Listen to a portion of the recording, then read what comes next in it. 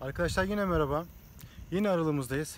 Daha önce sizler aralığımızda karabaş otlarını, sarı kantaronları, yine ada çaylarını, tirfilleri, fiilleri, korungaları, beraberinde erguvanları ve birçok şifalı bitkiyi hepsini sizlere tanıttık.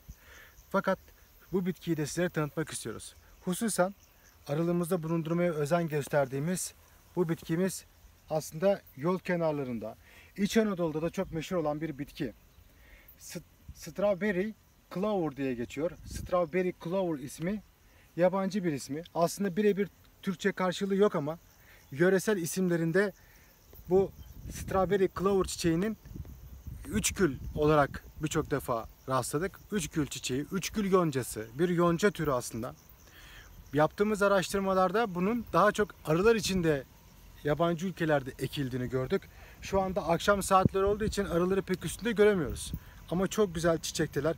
Çok harika bir nektar verimi var. Biz bu bölümü de onlara ayırdık gördüğünüz gibi.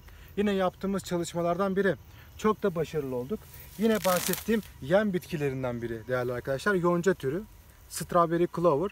Siz üç gül çiçeği yoncası diye yazdığınızda çıkacaktır. Çok güzel. Evet kokusu da hoş. Aslında hem hayvanınız varsa hayvan sağlığı için de çok güzel. Baktık, araştırdık. Mineral değerleri çok yüksek. Ve baldaki besin değeri de çok yüksek. Yavru atımında çok etkiliyor.